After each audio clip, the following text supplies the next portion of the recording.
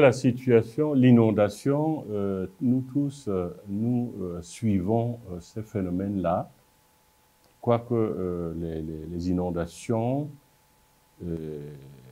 ont envahi le maillot d'Anaï vers fin août. Et à ce moment-là, j'avais pris quelques jours de, repos et je voyais vraiment que le niveau d'eau montait. Chaque année, chaque année, il y a toujours, toujours une petite inondation.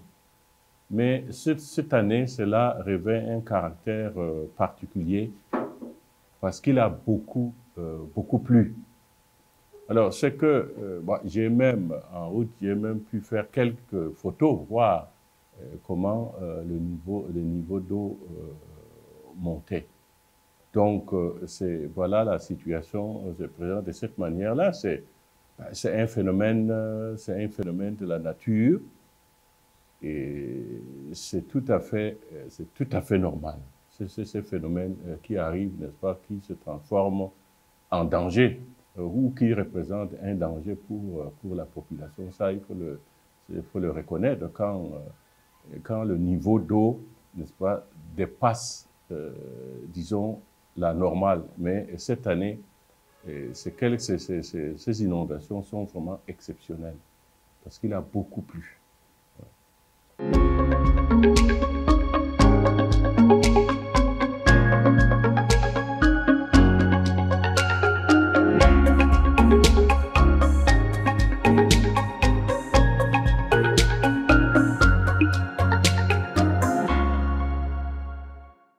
D'abord, euh, ce message euh, s'adresse aux fidèles de l'archidiocèse de Douala et aux hommes de bonne volonté.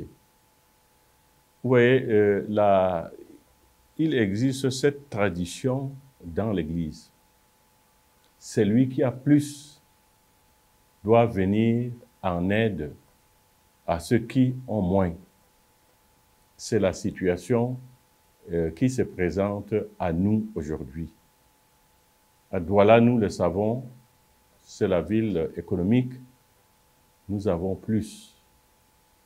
Et nous avons, et cela nous, euh, nous oblige à ouvrir nos yeux, à nous tourner, ouvrir notre, nos cœurs pour nous tourner vers ceux qui souffrent. Vous parlez justement euh, de la, situation euh, des écoles. C'est vrai, nous suivons tout cela jusqu'à présent. Tous les enfants là-bas n'ont pas encore repris le chemin de l'école. Parce que partout sont empêchés, euh, empêchés par, les eaux. Ils ne peuvent pas, n'est-ce pas, rejoindre leur, euh, salle de classe. Et même certaines écoles, celles qui sont construites, celles dont les bâtiments euh, sont en matériaux provisoires, bah, toutes ces euh, tous ces murs-là euh, se sont écroulés. Bah, il faudrait donc maintenant le reconstruire pour que, n'est-ce pas, les enfants reprennent rapidement l'école. Mais quand je dis reconstruire, bah, il faut les moyens. Il faut les moyens donc pour, pour aider à cela, pour reconstruire. Voilà pourquoi euh, j'ai lancé cet appel-là. Si nous avons quelque chose, nous pouvons ne pas euh, voler au secours euh, de nos frères qui sont, qui sont là-bas en ce qui regarde l'école. Mais il n'y a pas que, que l'école. Nous le savons très bien, la, la région de l'extrême nord est une zone sahélienne aride. Il ne pleut plus assez. Ça, c'est le paradoxe que nous, euh, que nous vivons. Il ne pleut plus assez. Il y a des années où la pluviométrie ne répond à rien. Les gens n'ont pas de culture, ne cultivent pas assez. Ça veut dire qu'ils ne récoltent presque rien. Et ben, les gens ont leur habitude. Ils cultivent du mil et aussi du maïs. Ce sont des plantes qui ont leurs exigences. ils ont besoin, et ces plantes-là ont juste besoin des pluies, pas assez, pas trop, et bien réparties. Une fois que la pluviométrie ne répond pas à ces critères-là, c'est la catastrophe. Et justement, euh, la situation euh, qu'ils vivent là-bas, comme les, eaux ont presque détruit ces cultures-là. La situation, je dirais, la plus grave maintenant, c'est que c'est qu'il faut, n'est-ce pas, donner à manger à ces gens, à nos frères du Nord, ceux qui n'ont de l'extrême Nord, ceux qui n'ont plus rien et les cultures ne donnent plus, ne répondent pas parce que c'est, nous sommes au moment où on devait faire les nouvelles récoltes. Mais les nouvelles récoltes, maintenant, rien n'existe. Et je crois que là, là, là, là, là, nous avons déjà parlé de l'école. Maintenant, il faudrait que les gens aient à manger. Oui, puisque les, les, nouvelles récoltes ne seront pas là. tout, est, tout a été euh, détruit par l'eau. Il faudra à tout prix faire cela. Et maintenant, mais ce sont des familles entières, ce sont des familles entières. Il faudrait maintenant attendre peut-être le mille de saison sèche. Ah, mais ça, demande peut-être deux à trois mois. Quand ils vont mettre ce, mettre ce mille terre, mais pendant tout ce temps, qu'est-ce que les gens euh, vont manger? Voilà le problème. Ben, je crois que euh, nous, les Camerounais, nous avons suivi tout cela.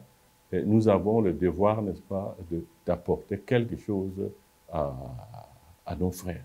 Oui, au niveau de l'école, au niveau, n'est-ce pas, disons, de la, de, la nourriture. Ben, non seulement, évidemment, les maisons se sont écroulées, les maisons qui sont, comme je venais de le dire, se sont écroulées, mais il faudrait, n'est-ce pas, beaucoup d'aide, n'est-ce pas, pour, euh, pour arriver, n'est-ce pas, à soulager la souffrance euh, de, de nos frères.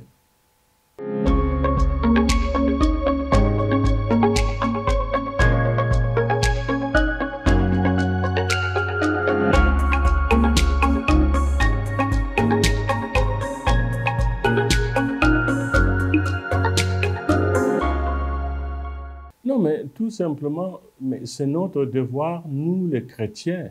Ça, c'est non, c'est même, c'est ça même qui, euh, notre, euh, c'est cela qui fonde même notre foi. Notre foi nous, nous appelle à cela, que nous avons le devoir d'aller aider nos frères qui sont en difficulté. C'est vraiment dans ces, euh, dans ce sens-là. Apporter quelque chose à un frère ou à des frères qui souffrent. Je crois le, le, le sens, notre geste, c'est cela, nous ne cherchons pas quelque chose. Mais je, profite quand même, euh, quand même pour dire ceci. Il faudrait, euh, ben, il faudrait que, euh, en ce qui regarde, par exemple, le, les cultures, ben, il faudrait peut-être qu'on arrive à varier, à varier les cultures. Mais beaucoup de gens ne cultivent que du mil. Et quand le mil n'a pas produit, c'est un problème grave. Alors, est-ce qu'il ne faudrait pas, au niveau du pays, introduire d'autres cultures? Mais il existe déjà, il y avait le riz. Mais le riz, à un moment donné, le riz donnait bien. Mais cette société, la sèmerie, a presque été abandonnée. On ne sait pas pourquoi. On ne sait pas pourquoi. Alors, maintenant, il ne reste que le mil. Mais il y a d'autres cultures qu'on peut, euh, n'est-ce pas, qu'on peut introduire aujourd'hui. Mais il ne faudrait, pas qu'on reste uniquement au niveau, n'est-ce pas, du mil. Non, non, varier. Je crois que nous avons un ministère euh, de, l'agriculture qui ne peut pas faire des études. Et le tout, c'est de avant tout donner à manger aux gens et que les gens eux-mêmes soient capables de, de, de, de, devenir autonomes en ce qui, au moins c'est déjà en ce qui regarde la nourriture. Mais je voudrais dire peut-être que les gens ne soient pas, ne soient pas scandalisés. Les gens ne sont pas les paysans là-bas. Mais ils ne sont pas pour autant troublés par la quantité d'eau qui est là. Parce que cette eau-là, cette eau, ben, vont aider la nature à se refaire. Les herbes vont pousser, les, les arbres vont pousser, les animaux auront assez, n'est-ce pas, de nourriture. Mais c'est peut-être c'est la surprise quand du coup les gens n'ont pas été préparés. Mais les, les, les, inondations en soi, mais ce n'est pas mauvais. Parce que une, mais si maintenant cette zone devient désertique, ben, les gens seront obligés de quitter. S'il ne pleut pas, c'est encore plus difficile. Comme il a plu d'une manière ou d'une autre, les gens font, n'est-ce pas, les gens vont, euh, euh, vont s'organiser. Ben, je dirais, excusez-moi, d'aller terre à terre. Si maintenant vous allez auprès des paysans là, mais ils ne vont pas, ils ne vont jamais se plaindre parce qu'il a beaucoup plu. Ben, ils vont dire que c'est bien. Mais ça nous a dérangé, mais les, pluies sont, les bienvenues parce que ça, permet maintenant de refaire, de, donner à la nature de, de se refaire. En fait, c'est ça. Mais maintenant, le problème, c'est de gérer l'urgence qui est là. De gérer l'urgence qui est là. Nous ne pouvons pas dire, OK, non, il a plus, c'est, on va, ne pas, commencer à, à se lamenter, à, à, dire non, non, ce n'est pas, puisque selon la mentalité, c'est Dieu qui fait pleuvoir, à dire, en vouloir à Dieu. Non, je ne crois pas. Les gens vont dire plus de non, non, il a plu. Ben, c'est vraiment maintenant, la situation est difficile. Essayons de résoudre, n'est-ce pas, le phénomène.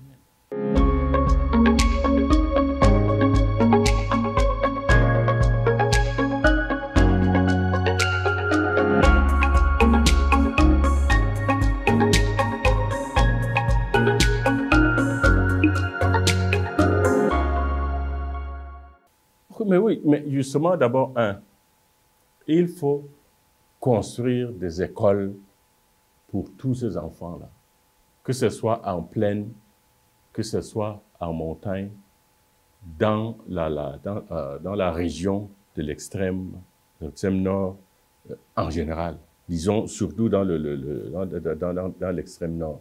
Mais il faut d'abord construire les écoles. Et justement, il y a un phénomène, il faut se poser la question. Tous les parents, s'ils n'ont pas assez à manger, est-ce qu'ils pourront avoir de l'argent pour envoyer les enfants à l'école? Et la question qu'on se pose, est-ce qu'au Cameroun, l'école instruit un enfant, est-ce que cela est gratuit ou cela est payant? Mais il y a beaucoup de parents qui n'envoient pas leurs enfants à l'école. Peut-être à l'école primaire, au collège, quand les enfants doivent aller au collège, beaucoup de parents n'ont pas de moyens pour envoyer les enfants à l'école. Certains parents réussissent à les envoyer à l'école. Maintenant, à l'université, où l'enfant n'est plus dans le village, il faut donner, il faut tout donner. Il faut tout donner. Prendre l'enfant en charge qui vit en ville. Mais il y a beaucoup de, parents qui ne peuvent plus voyez, à l'université. Mais aujourd'hui, beaucoup d'enfants, n'est-ce pas, dans le, dans le Grand Nord, arrivent en classe de terminale, ils obtiennent le baccalauréat, mais ils ne peuvent pas continuer, n'est-ce pas, l'enseignement supérieur. Et ils s'arrêtent là. Et ici au Cameroun, vous avez le baccalauréat, euh, le baccalauréat, mais ça ne vous donne pas de travailler. Ça ne vous donne pas de travailler. Les enfants, euh, les enfants sont là les enfants sont là. Je crois que nous, nous devons observer les phénomènes, les phénomènes. Nous avons l'habitude de dire que, de dire, ce n'est pas de la moquerie. Mais nous sommes à Douala. Nous sommes à Douala et nous connaissons le phénomène, le, le, phénomène migratoire. Ici, les enfants de Douala prennent la route pour aller en Europe, aux États-Unis. Vous avez vu tout ce temps-là, tous nos jeunes, euh, de moins jeunes, qui vont au Canada. Mais nos jeunes là-bas, en général du, du, du, du, Grand Nord, quand ils arrivent à Douala, ils ont déjà atteint le but. C'est pour l'image traduit justement un peu quelle est la situation de deux pays? Vous voyez? Ou pas de deux pays, mais de deux régions. Vous voyez? Des gens qui... Mais, mais c'est la pauvreté, la pauvreté des gens. Vous voyez? Donc la situation, justement, de l'école, mais, mais aujourd'hui au Cameroun, le parent qui n'a pas de moyens ne peut pas faire étudier son enfant. Alors il faut se poser la question, est-ce que l'école est gratuite au Cameroun ou elle n'est pas gratuite au Cameroun? Je crois qu'il faut profondément réfléchir sur cela. Et mais il, mais le, il y a aujourd'hui, n'est-ce pas, des, la société camerounaise, n'est-ce pas, se situe à plusieurs échelles, ou du moins deux.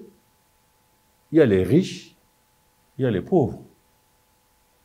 N'allons pas, mais même nous sommes à Douala, combien de personnes qui se présentent quelquefois pour dire mon enfant est à la maison. Et il y en a effectivement qu'on ne peut pas envoyer à l'école parce qu'il n'y a rien, parce que les parents ne peuvent pas, parce que les parents ne travaillent pas. Ben, je crois qu'à ce niveau-là, eh, eh, la société camerounaise doit, les Camerounais doivent profondément réfléchir. Quelle société nous sommes? Quelle est la société? Est-ce que c'est la société où tout le monde bénéficie de nos richesses? Puisque le pays, le Cameroun, est, un pays très riche, nous avons tout. Est-ce que cette richesse est vraiment partagée? Et pour donner, n'est-ce pas, la chance à tout le monde de vivre normalement. Ah, c'est ce côté-là, nous avons pourquoi réfléchir.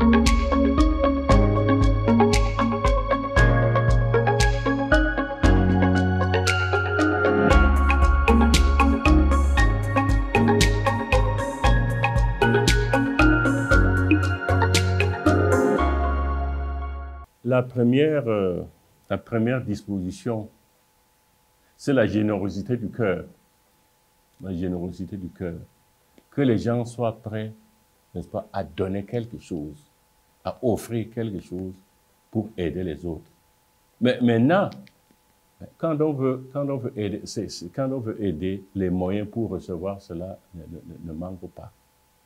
Ici, nous avons, nous avons la procure, nous avons, n'est-ce pas, les paroisses. Ils peuvent, n'est-ce pas, soit s'ils ont quelque chose, transmettre soit par la paroisse, par les paroisses, soit venir ici faire leur don à la, à la procure.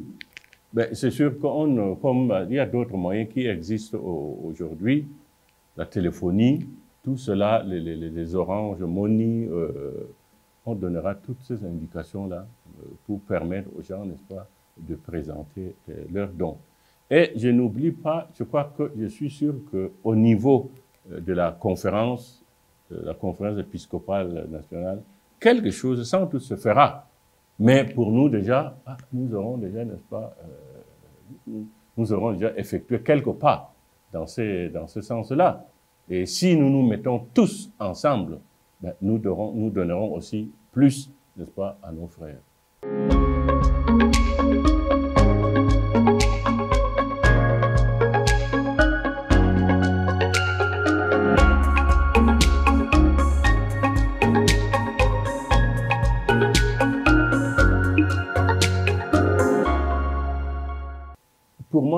C'est déjà une bonne chose d'avoir donné quelque chose. Qu'est-ce qui reste maintenant à faire? Comme on est en train d'évaluer, pas, les besoins réels. Parce que jusqu'à présent, on n'a pas encore vraiment évalué les besoins comme il faut. Mais une fois que euh, ces besoins-là seront évalués, mais est-ce que le, le, le, je crois c'est 350 millions. Si le gouvernement se rend compte que cela ne, suffit pas, mais ils devront, mais ils devront, n'est-ce pas, ajouter ou doubler ou tripler pour aider les gens. Mais le tout, c'est de voir que vraiment les gens qui souffrent, non, on les prend en charge. Il ne s'agit pas de dire, OK, j'ai donné ceci. C'est l'argent qu'on donne. C'est l'argent, c'est l'effort de tous les Camerounais. C'est l'effort de tous les Camerounais. Mais ce n'est pas les impôts que nous donnons. Non, c'est l'effort de tous les Camerounais. Donc, si encore, si maintenant on évalue bien le besoin, qu'on augmente ce qu'on a donné, puisque ça ne suffit pas. On, on montrera clairement que ce qui a été donné ne suffit pas. Mais c'est clair. Mais je crois qu'on n'a pas pour le moment, on n'a pas encore à crier. J'espère que ceux qui sont là-bas, le ministère, il, y a des ministères, euh, disons, des, des employés là-bas, des fonctionnaires qui sont là-bas sur place et qui peuvent ne pas évaluer réellement le besoin. Et comme ça, le, le, le trésor camerounais devra ajouter quelque chose.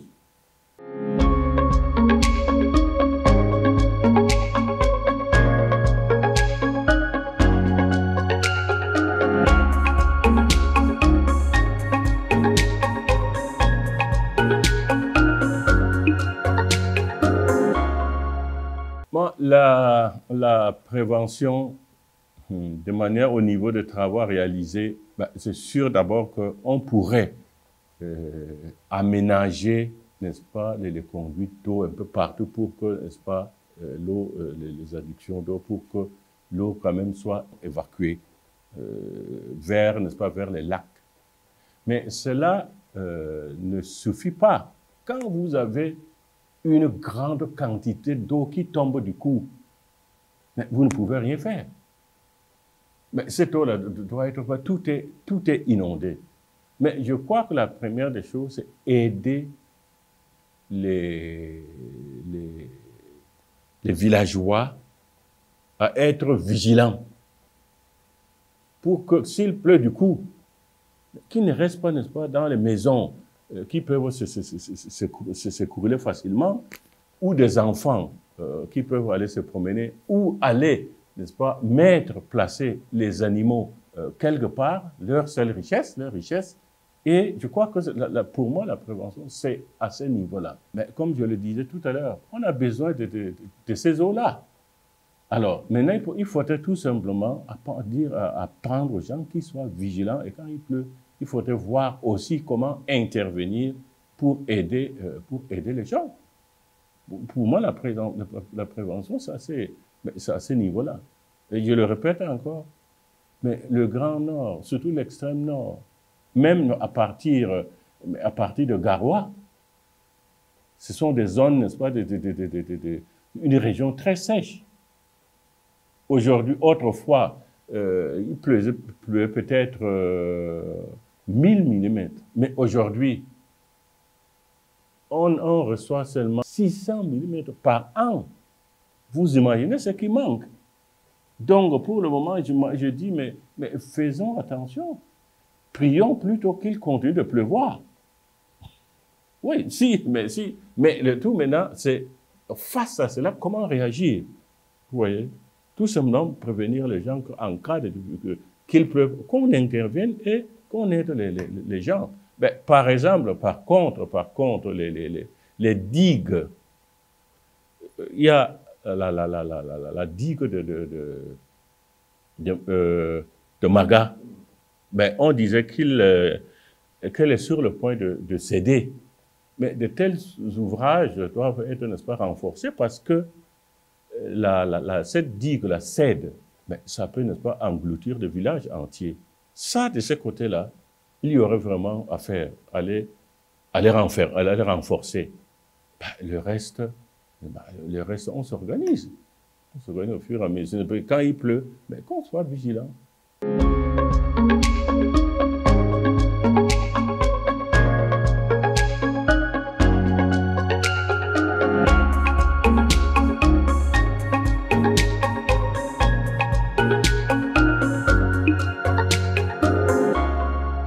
Si nous réussissons ici à, obtenir quelque chose, mais nous allons nous adresser, euh, n'est-ce pas, au, diocèse de, au diocèse de puisque c'est vraiment, c'est la plaine de Mayodana là qui est vraiment, euh, qui, est, qui, est, qui est maintenant euh, dans l'inondation totale.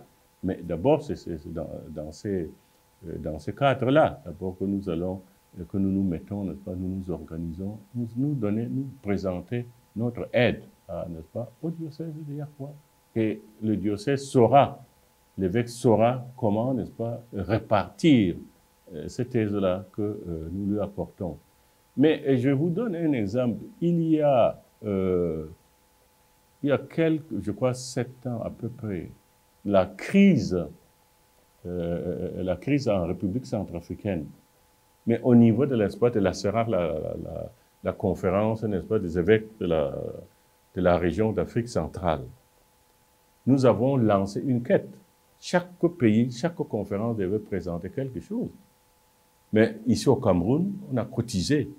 Moi-même, je suis allé en RCA porter cette offrande. Je crois qu'on avait, on avait présenté, euh, il me semble, je ne sais pas si c'est 9 ou 12 millions. Je suis allé leur porter ça. Les évêques, ils étaient très contents. Donc, euh, ben, nous devons toujours être prêts pour faire ce genre, euh, euh cette aide-là. Nous disons aux fidèles ou disons aux populations, aux habitants du département de, de, que nous sommes avec eux, que nous prions pour eux, que nous sommes très sensibles à ce qu'ils sont en train de vivre. Ça, c'est d'abord ça. Euh, qu'ils qu'ils essaient autant que possible, n'est-ce pas, de eux-mêmes déjà, de s'entraider pour pouvoir, n'est-ce pas, vaincre la situation. Mais l'autre message que nous, du Cameroun, partout où nous nous trouvons, qu'on puisse aider, qu'on puisse apporter de l'aide, n'est-ce pas, à, euh, à, tous ces, euh, à, tous nos frères de Yahwa euh, qui, qui souffrent, que nous soyons, n'est-ce pas, généreux à leur égard pour les aider, pour qu'ils, n'est-ce pas, puissent conduire, que, le, que les choses, que la vie reprenne normalement. Et surtout que, eh par exemple, les enfants ne perdent pas l'année.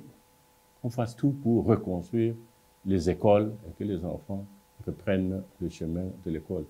Et que ça soit aussi une occasion pour le gouvernement, n'est-ce pas, d'implanter des écoles là où il n'y en a pas.